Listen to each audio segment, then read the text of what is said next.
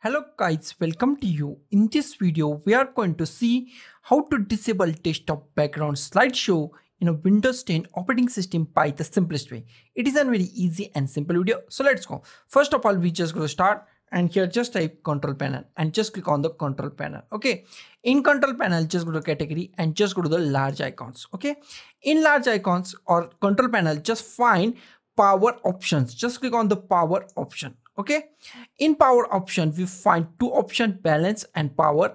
If you choose any plan then just go to the that plan. I choose the balance so i just go, just go to the balanced and just click on the change plan setting just click on change plan settings okay?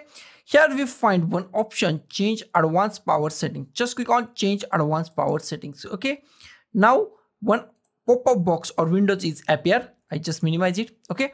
And here we just find desktop background settings. Just go to the this plus icon just click on this plus icon.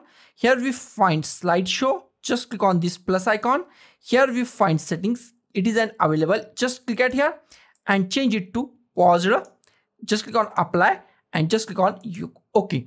Now we are just disabled desktop background slideshow in a windows 10 operating system. So guys thank you for watching this video. Don't forget to like share comment on this video and don't forget to subscribe the channel. Thank you guys